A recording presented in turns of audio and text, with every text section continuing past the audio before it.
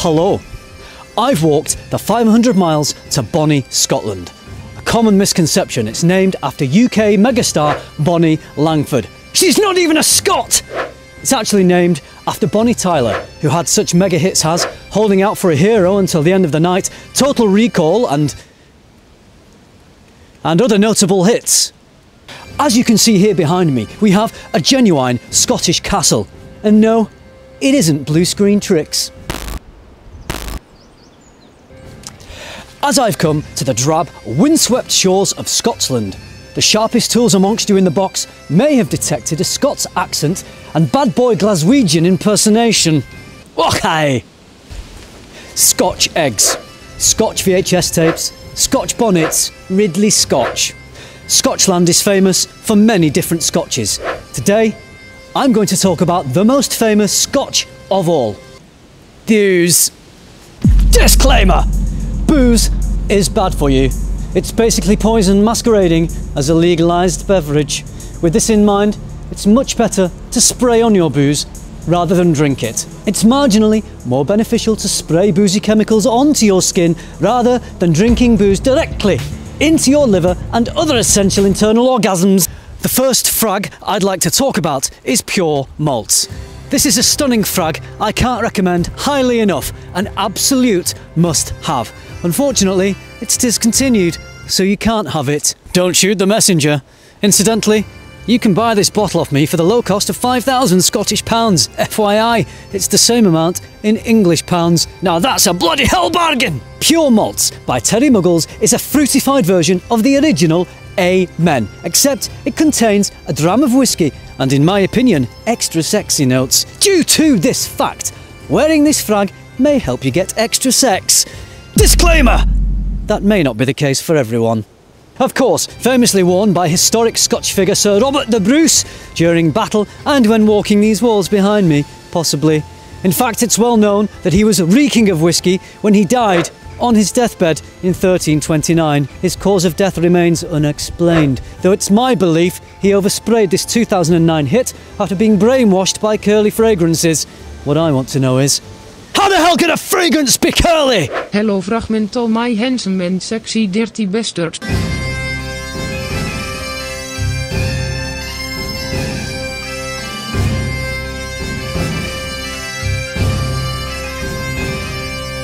I'm here at another Scotch castle. Unfortunately, somebody ruined this one.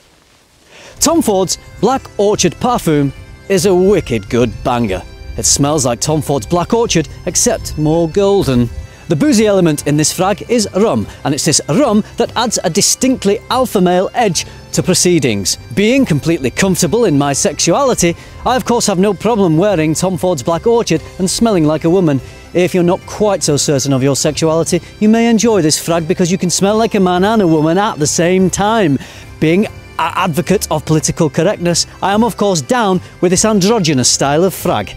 Upon studying the golden nature of this bottle, it comes as no surprise to learn this nectar was composed by Goldfinger from Jim Bond movies The Men with the Golden Guns.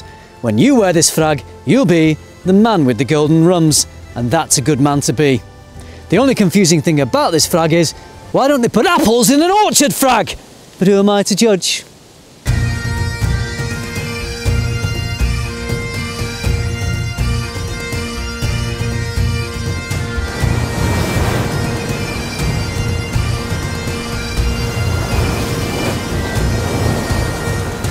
Ruined.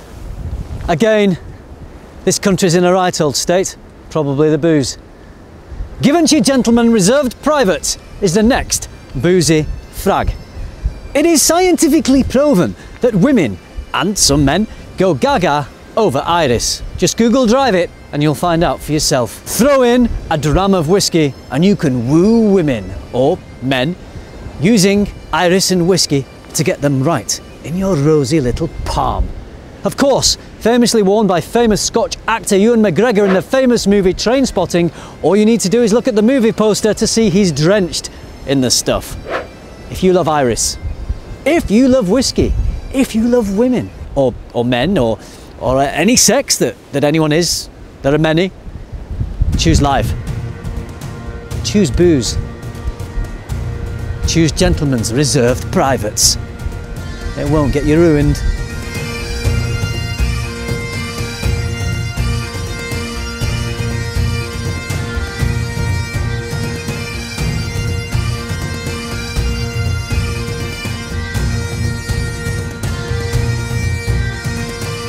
The next boozy frag skillfully negates the need to ever visit a jazz club. It's called Jazz Club from House Maison Margelli. Tobacco, vanilla. The booze note originates from rum. Of course, famously worn by famous Scotch actor William Wallace when he played Braveheart in the famous Scotch movie Braveheart. It's sweet, it's enticing, the notes dance around each other with apparent wild abandon, yet somehow it all perfectly harmonates, much like the notes of jazz in a club. Of course, there are no jazz clubs anywhere near around here anywhere to be seen, but that's okay. I've got my jazz club right here.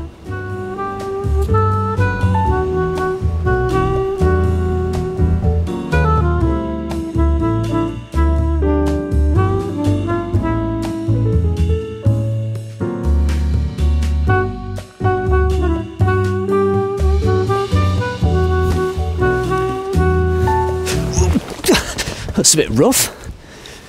Hmm, thanks for a, a nice pint. Dior Homme La Fahrenheit Parfum is a very sensual, warm, caring, huggy sort of a fragrance. Not quite as insanely masculine as the original Dior Homme La Fahrenheit, but there is still some of that petroleum pumped into the background. Sexed up vanilla, along with a warming rum as if it's just been squeezed from a very moist Christmas pudding, make this such a sensual, warm, caring, huggy sort of a fragrance. If you're not a sensual, warm, caring, huggy sort of a person, but want to trick people into thinking you are, this is a very powerful, loaded weapon of mass destruction to have in your arsenal. Trust me, it works.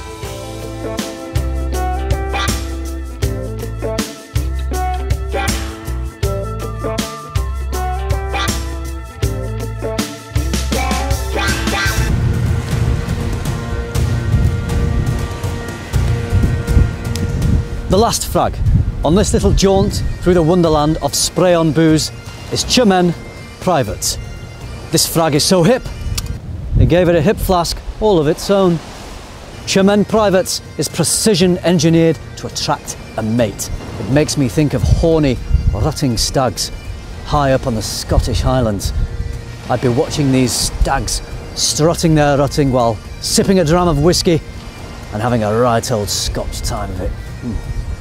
Of course, famously worn by famous poet Robert Burns, reputedly some of the most affecting poetry ever committed to an old-fashioned typewriter was inspired by this sexy smell. Chemin Privates is so good, it's in a private club all of its own. I strongly suggest you pay the membership and become a member of Chemin Privates.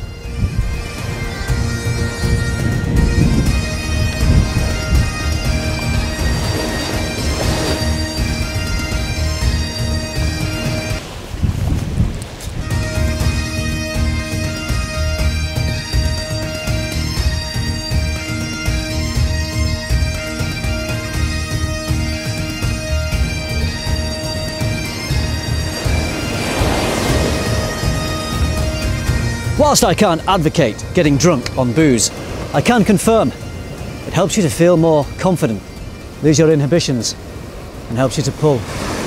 Or if you're American, pick up hot chicks. If you make the valiant decision to spray on your booze rather than pouring it in you, it will definitely help you pick up those hot chickadees. Some foolish fools foolishly believe that spraying a frag will not help you to pull. I believe this to be incorrect, which is why I made up this famous saying if you don't smell great, you won't find a mate. If you don't smell great, you won't find a mate. If you don't smell great, you won't find a mate. You think all those horny stags would find their little honeys if they weren't spraying sex musks everywhere? Of course not! However you decide to take your booze, spray or pour, make sure you do it responsibly because if you don't use enough, you'll be the one losing out. And just like me, you don't want to be a loser.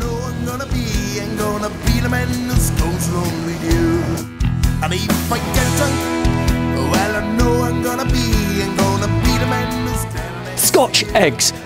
Scotch eggs. Scotch eggs. Scotch eggs. Scotch eggs. Scotch eggs. Scotch eggs. Scotch eggs. Scotch eggs. Scotch eggs. Scotch VHS tapes. Scotch bonnets. And Tony and Ridley Scotch. And Ridley Scotch. Ridley Scotch. Ridley Scotch. Ridley Scotch. Ridley Scotch. Come on. Get one full run at it. It's going to be a nightmare to edit.